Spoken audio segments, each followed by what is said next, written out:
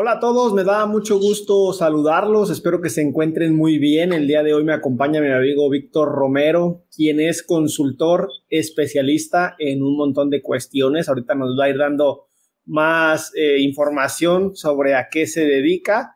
Víctor, buenas tardes, ¿cómo estás? Hola, querido Olmo. Muy bien por acá. Espero que no haya mucho ruido, pero haremos lo posible porque suena muy bien, fuerte y claro. Te escuchamos bastante bien, así que no hay ningún problema. Y te he invitado a platicar en esta ocasión porque eres una de las personas, de las pocas personas que yo conozco que no sabría explicar exactamente cómo hacen tantas cosas, cómo se organizan, cómo pueden ser, consultores de varias empresas en varios temas. Primero que nada, para poner en contexto a la audiencia, cuéntanos quién es Víctor Romero y a qué te dedicas. Ah, pues Víctor Romero es un biólogo. Tengo siete, ocho años que me titulé de la carrera de biología en la, en la UNAM. Y pues lamentablemente el rubro no está, no hay mucho trabajo, ¿no? Yo originalmente me quería dedicar a la academia. Ok.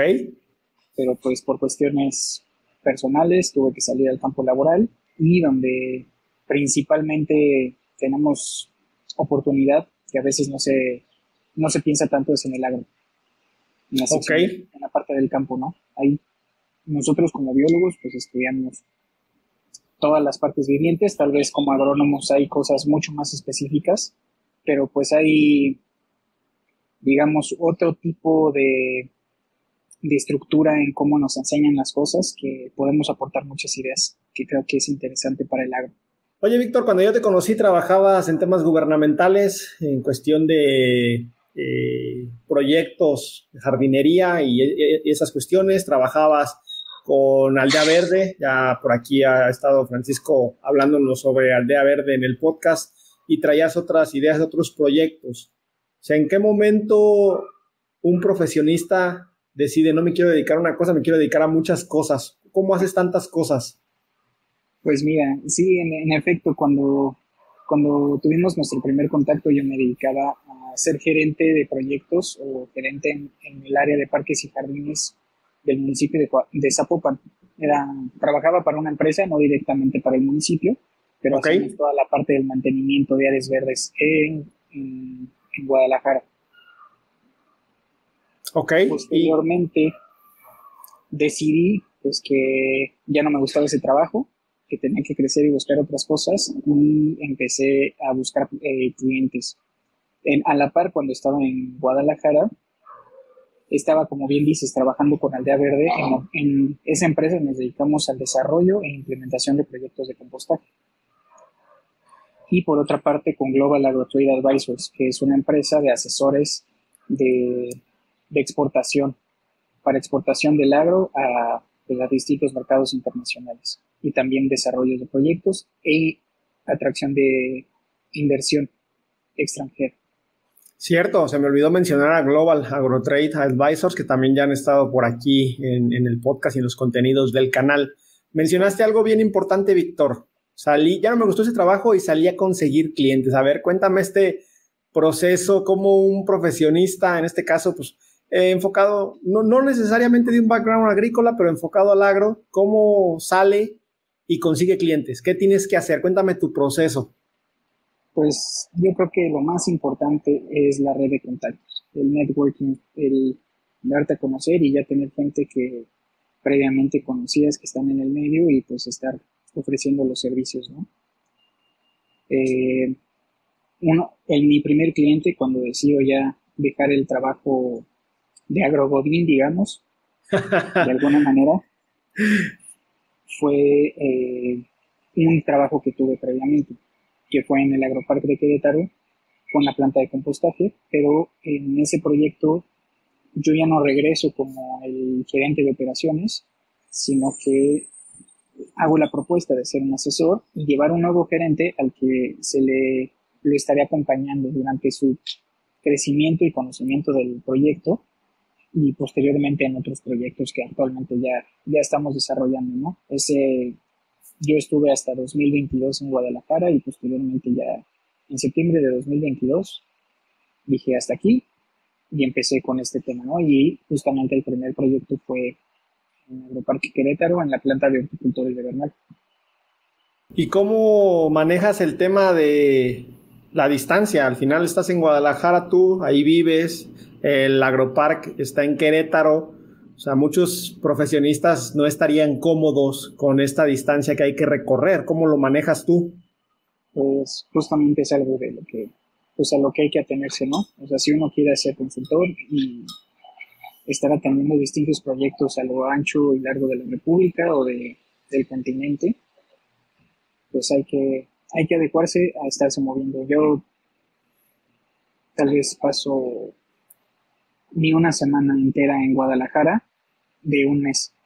O sea, durante un mes no estoy ni una semana en Guadalajara, yo regreso, veo mi casa, mi familia, pero luego, luego el siguiente lunes ya estoy en el carro viajando, ¿no? Ya sea Querétaro, San Luis Potosí, Veracruz, y pues estar ahí buscando.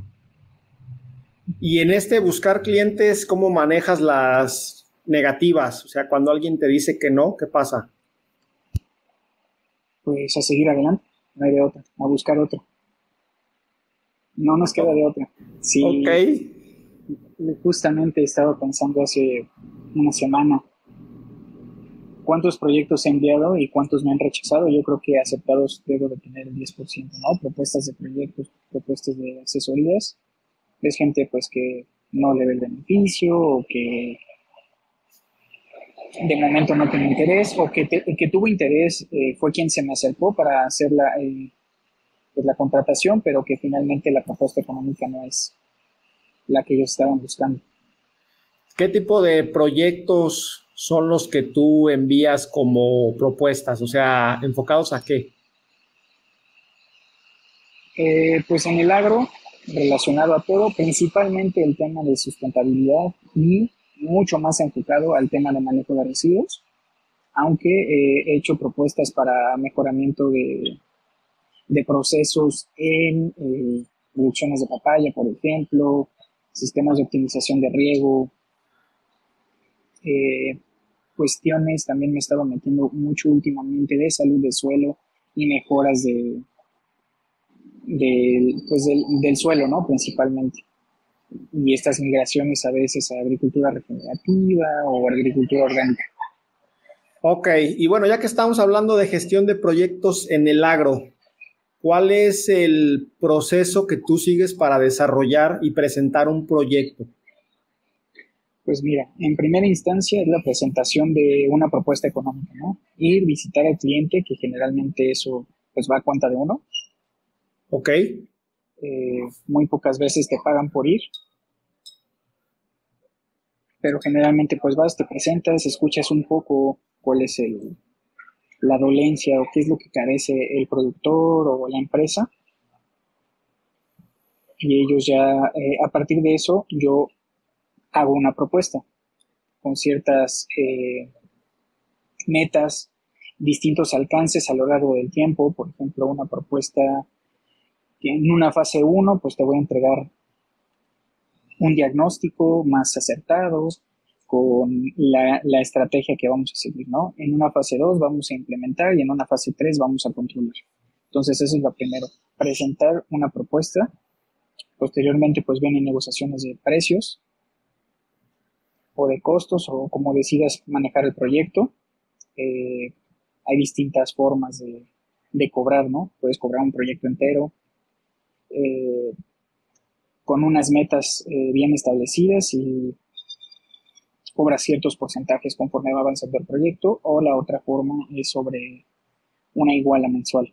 ¿no? Yo cada mes voy a estar dándole seguimiento y te voy a cobrar tanto. Entonces, pues eso va dentro de las negociaciones cuando, Cuando tú visitas a un prospecto por primera vez, ¿llevas ya algo para presentarle? O sea, a lo mejor me, imagino que cuando vas por primera vez, pues no conoces exactamente las necesidades.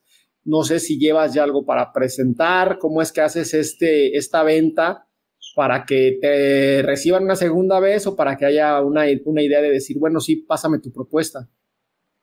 Eh, depende del cliente y depende previamente qué información hayas obtenido. Hay, digamos, hay dos opciones. Una es tener una cartera o una presentación general de lo que yo te puedo ayudar a hacer, ¿no? Yo soy Víctor y te puedo apoyar a hacer toda esta serie de proyectos. Si ya estando en la visita, pues tú me dices, ah, pues me interesa esto, me interesa este, pues ya puedo desarrollarte un anteproyecto, llamámoslo así, una, una propuesta mucho más adecuada a tus necesidades. Y la otra opción, pues es que una previa llamada o una previa reunión eh, vía videoconferencia, pues ya nos pusimos un poco más de acuerdo y el día que yo estoy ahí, ya llevas información eh, más detallada, ¿no? De qué es lo que quieren y cómo podrías ayudarles. Entonces, pues el día que vas a conocer el proyecto, también estás eh, ya presentando la propuesta. ¿Qué pasa? Pues, adelante, adelante. ¿Qué pasa cuando necesitan algo dentro del proyecto que tú no manejas? Busco quién, nos, quién me puede apoyar a desarrollarlo. Otros profesionales, eh, buscar pues el apoyo de amigos y con eso sin problema. Digo, nadie es experto en todo, creo que como independientes pues tenemos que entenderlo, ¿no? Entonces siempre tenemos que apoyarnos y tener esta red de profesionales que pueden ir buscando, que podamos ir buscando una cartera de amigos, de contactos que puedas decir, oye, traigo este proyecto, pero yo no sé, por ejemplo, temas de paneles solares, me puedes apoyar y lo hacemos en conjunto. O de plano, hay veces que pues no vale la pena ni que uno esté involucrado, ¿no? Aquí está el cliente, por favor revísalo conmigo. Esta conversación, Víctor, surgió o, me surgió la idea de alguna vez que platicamos el, el tema de cuál es la diferencia entre ser un responsable de proyecto, un gerente dentro de la empresa y ser un consultor externo. Claro. Tú has estado de lo, en los dos lados cuáles son las responsabilidades de cada uno y, hasta dónde llega esta, este poder de decisión de cada uno. Mira, también dependerá de, cada proyecto, pero estando dentro de, como responsable del proyecto dentro de la empresa, creo que vives un poco más el día a día, ¿no? Estás en el, hablando del agro principalmente, oye, ya se le zafó la chumacera al tractor, hay que conseguirla lánzate proveedor o habla la compras o lo que sea, ¿no? Entonces ese es como el día, el día a día de pues, un responsable de proyecto, sea un gerente, un supervisor, un coordinador, sea el puesto que tengas, que tiene más siendo consultor, pues ya no, ya no vives eso. Llegas a un proyecto e indicas cuáles son las acciones y hacia dónde, hacia dónde deben de ir, ¿no? Indicas acciones de revisas las acciones que habías dado eh, e instrucciones que habías dado en, sesiones anteriores y propones nuevas, ¿no? Oye, las responsabilidades yo creo que son distintas en el sentido de que distintas y compartidas. Un consultor en un proyecto pues es responsable del resultado más de cómo llegar a, a, eso, a ese resultado, ¿no? Aunque sí tiene que estar involucrado en que pues, las cosas se hagan bien, pero finalmente, por ejemplo, eh, si no obtuvimos esta meta de rendimiento, no obtuvimos este, pues porque a qué se debió y eso es recae principalmente en el consultor, ¿no? A comparación de un gerente, pues que él está resolviendo el día a día y tiene que estar atendiendo las cosas que obviamente también tiene que entregar un resultado, pero no se mide su, e, el éxito de su trabajo en si se logró o no. Digo, depende de muchos factores, pero puedes ver el trabajo directamente de un gerente en un proyecto por el trabajo que hizo día a día, ¿no? A comparación de un consultor que pues dio unas instrucciones y si no las siguió y no salió, pues sí es una responsabilidad compartida entre pues el que lleva el proyecto y el que está dando las indicaciones, pero finalmente el consultor pues no hizo su trabajo. ¿En qué momento un profesionista agrícola puede dar el brinco a ser consultor? ¿Qué hace falta para ser un consultor? pues uno pensaría que tal vez no hay experiencia. Tal vez sí, en ciertos, eh, en algo muy específico que tú sepas que puedas darle a distintas empresas que, la, que no tengan, ¿no? Un caso te puedo decir muy específico por mi parte, pues puede haber mucha intención de hacer el tema de composta, pero tal vez muchos no lo saben hacer bien o a escala industrial. Entonces, eh, pues yo tuve la experiencia como un gerente de proyecto durante algunos años atendiendo eso y pues sé los detallitos. Y a veces esos detallitos son los que uno puede vender, ¿no? Porque de otra manera, si sabes cosas muy generales y no puedes vender esos, esas mejoras, digamos, o de alguna manera, pues no, no va a ser atractivo para el cliente, ¿no? Aunque, pues sobre la marcha puedes ir aprendiendo. Echando a perder proyectos se aprende. no es tan fácil, pero... ¿Cuáles son esas dudas o inquietudes que has detectado tú como un patrón entre las personas y empresas que quieren, eh, que necesitan un proyecto? Normalmente, ¿qué es lo que les detiene? En especial de cara al consultor, ¿no? ¿Qué es lo que te preguntan? ¿Qué es lo que investigan sobre ti? ¿Qué averiguan? El, pues proyectos pasados en los que hayas trabajado, tu historial como consultor, a qué otras empresas les has trabajado, ¿no? Eh, ¿Qué detiene luego mucho los proyectos? Eh, principalmente nuestra cultura es el, que no existe una cultura de la consultoría. Prefieren hacerlo, que, que sucedan las cosas como tengan que suceder y irlo corrigiendo sobre la marcha a comparación de desarrollar un proyecto con alguien que ya sabe que no es parte de tu organización, pero justamente por eso es un consultor. Te va a ir guiando y te va a ir llevando de la mano para hacer las cosas. Pero sí eh, es difícil, en México eh, principalmente. En tu caso, que vendes proyectos grandes, o sea, no, hasta donde yo entiendo, no son cuestiones que digas tú, ah, 5 mil, 10 mil pesitos y, y vámonos al que sigue, o sea, son proyectos ya de mucho más dinero. ¿Cómo vendes tú un proyecto que implica una inversión grande y un tiempo largo para completarse. Como te digo, o sea, muchos profesionistas en el agro, pues a lo mejor los que venden agroquímicos, pues es la venta en ese momento, es un producto, es, es, un, es un intercambio monetario por un producto inmediatamente, pero pues es una cuestión de bajo precio en comparación con lo que tú vendes. No sé si nos puedas compartir, por ejemplo, para darnos una idea nada más, no diciéndonos de alguno, o sea, de, cuánto dinero hacia arriba empieza un proyecto como los que tú trabajas. Pues, digo, ahí hay económicos, tal vez de los dos millones de pesos, pero pues tenemos grandes sobre el medio millón de, medio millón de pesos, no, discúlpame, los, arriba de los 500 millones de pesos, ¿no?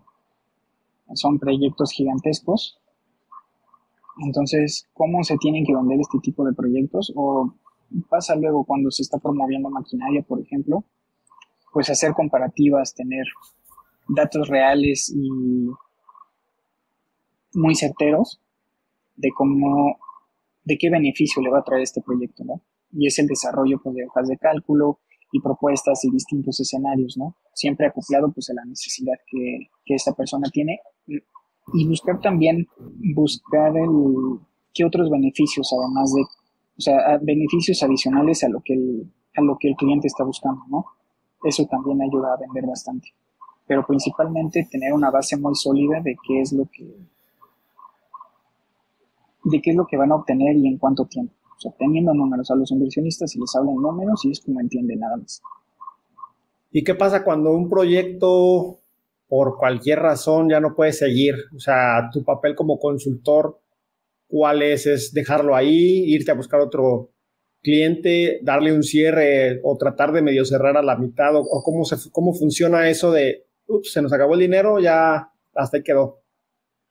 Pues dependiendo de qué acuerdo se tenga, por ejemplo, y hasta dónde haya llegado, ¿no? Puede haber proyectos que se les acabó el dinero, pero tuvimos un buen avance en el desarrollo y hay partes que sí se pueden trabajar, pues trabajemos con eso, en lo que se consigue más dinero y se ve si se financia o se busca que se obtengan eh, ya dinero a partir de esto y pues sigamos trabajando, ¿no? Hay veces que pues de plano no puede avanzar y hay dos opciones, se cierra el proyecto y decimos pues hasta aquí quedó, justamente, bueno, obviamente justificando pues por qué se está cerrando, que no haya sido culpa de uno. Se les acabó el dinero porque decidieron hacer otra inversión en ese mismo momento. Ah, bueno, pues ahí queda, ¿no? Pero estamos abiertos a continuar cuando ustedes digan. Ok.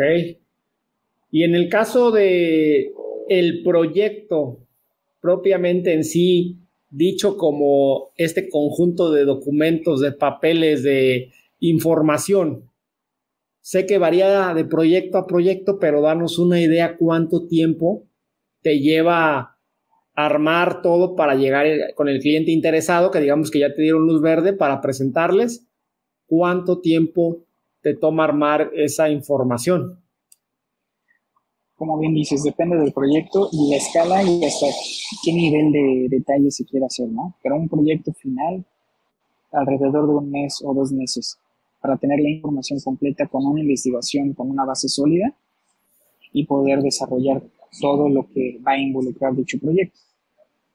Hay proyectos pues mucho más express que en una semana se entregan sin problema.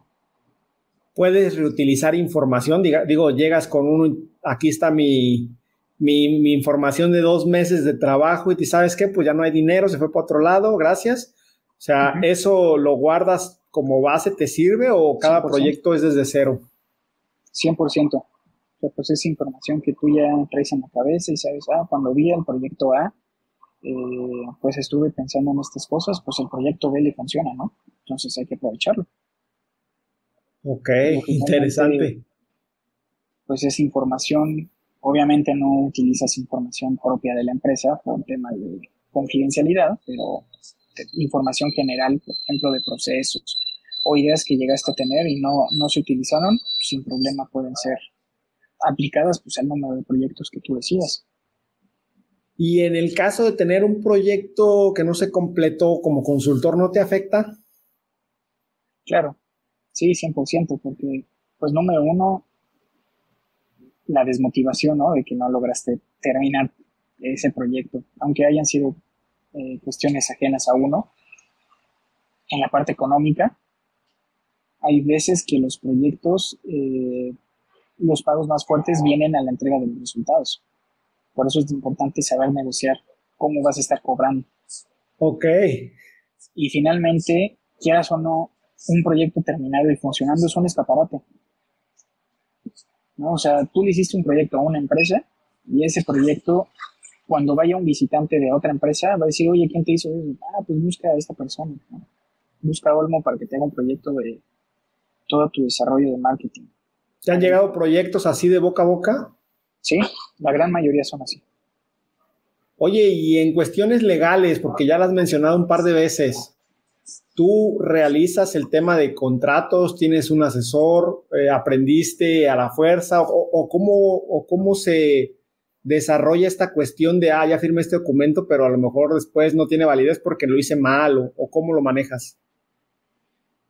Las tres opciones que diste. Una la puede hacer uno mismo, o sea, buscas un contrato general o que hayas tenido en otras ocasiones, modificas y pues empiezas a llegar a acuerdos, ¿no? Y también asesorarse legalmente, pues uno no es experto en eso, para que no lo atoren posteriormente, ¿no? ¿Has tenido alguna experiencia legal que sin nombres nos puedas comentar de manera general qué fue lo que te pasó y qué aprendiste? No. Sinceramente todo ha fluido muy bien y no he tenido problemas en ese sentido. Ok, ¿y tú directamente te asesoras con alguien entonces? Sí sí, una abogada que me apoya con eso. Oye, pues es este proyecto, ahora le ve esto, ve este contrato, fíjate en estos puntos, o si la empresa genera un contrato y yo no me siento eh, conforme o seguro, pues se le comparte al abogado y ella hace sus observaciones, ¿no? Ok. Y como consultor tú de este tipo de proyectos, ¿tienes competencia, es competencia fuerte, hay poca competencia. ¿Qué opinas? Sí, sí hay competencia.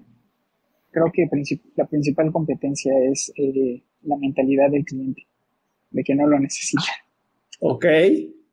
Pero, o sea, otros consultores en el rubro, claro que hay. Y creo que en otros temas del agro pues mucho más, ¿no? O sea, lo que yo estoy tal vez sí es más de nicho, eh, pero si hay, por ejemplo, la, lo que hacemos con Aldea Verde, es, es poca la competencia. Pero en el tema de con Global AgroTrade, que también es consultoría en tema de mercados internacionales, pues hay mucha más la competencia, ¿no? En el caso de Global AgroTrade, ¿eres consultor de consultores? Pues no los consulto a ellos, sino digamos que somos como una asociación y todos trabajamos. No todos, todos trabajan con el mismo objetivo, no es que seas consultor de ellos. Exactamente, sino digamos que soy como un empleado de la empresa, aunque no vamos a una oficina y no tenemos una oficina fija, sino es, somos un, digamos, un grupo de consultores. Ok. Que se fusionaron e hicieron esta consultoría, ¿no? Entonces, cuando requieren algo de tus temas, te llaman. Es correcto. Ok. ¿Y crees que sea adecuado que un consultor se una a otros consultores o que trabaje por su cuenta? Totalmente. O sea, totalmente es muy adecuado porque pues obtienes visiones de otras cosas que uno no maneja, que no está en su día a día. Y además de que puede atraer, pues esta red de contactos se, se exponencia, ¿no? Dependiendo del número de personas que hay. Ok. Hay muchos proyectos que llegan a través de, otro de los consultores del grupo, que, que, es pertinente a ti, pero que si esa persona no lo conociera, pues tú no tendrías forma de acceder a él. Ya, tienes toda la razón. Oye, ya para ir cerrando en cuestiones de cobrar, ¿cómo aprendiste a cobrar tu consultoría? Es complicado pero pues es eh, buscando una media de mercado en cuanto cobran los consultores, número uno, y pues que uno pueda evaluar su trabajo y sus conocimientos, saber cuánto vale tu trabajo y poderle ah, pues, asignar un precio. Y con eso, aunque yo no trabajo mucho en el sistema de te voy a cobrar por hora, sino más por metas, eh, por ejemplo, algunos sistemas de cobranza son no te cobro nada hasta que el proyecto sea efectivo, pero de las ganancias generadas o del ahorro generado de ese proyecto te voy a cobrar un 10, un 20, un 30%. Una cantidad grande. Exactamente. Entonces, son muchas maneras de, de cobrar proyectos. Es la que pues uno esté más cómodo, ¿no? Yo creo que, por ejemplo, para mí se vuelve muy cómodo tener proyectos en los que esté cobrando una iguana mensual. Ah, ok. Para tener pues un flujo seguro de dinero durante pues, todos los meses y luego tener proyectos aparte con estos esquemas de que me pagas al final cuando ya tengas un, un resultado o me pagas al inicio una parte y luego la mitad otra parte y luego al final otra parte. Digo, ya son parte de las negociaciones de cada uno, pero mi idea sería cuando vayas a cobrar un proyecto, no pongas todos los huevos en una canasta, sino ten distintas formas para que puedas estar jugando con cómo, entran los ingresos, ¿no? Y un consultor promedio de este tipo de proyectos que tú realizas, eh, ¿cuál es el máximo de proyectos que puede manejar? Buena pregunta. ¿O cuántos has manejado tú como máximo a la par? Depende mucho porque son distintos alcances en cada uno, ¿no? Y el, el, tiempo dedicado a cada, a cada uno. Hay algunos proyectos que se atienden unas horas al mes nada más, ¿no? O cuando tienen dudas, te preguntan y tú resuelves. Y ya. Pero hay otros proyectos a los que hay que estarles, estarles dando seguimiento. Ahorita en estos meses. ¿Cuántos dirías que son? A ver, dame un número no sé, yo ahorita, por ejemplo, traigo 15 diferentes y ya me siento saturado. No, pues sí, nomás de escuchar ya también me saturé yo. Oye, Vic, pues muchas gracias por compartirnos parte de tu experiencia, en este caso, hablando de gestión de proyectos en el agro. Digo, entiendo que tú no te enfocas exclusivamente al agro, puedes agarrar otro tipo de cuestiones, pero pues por el tema de Aldea Verde y, Global Agro Trade, creo que también estás con un pie metido acá en el agro, ¿Algún comentario final que quieras hacer para la audiencia?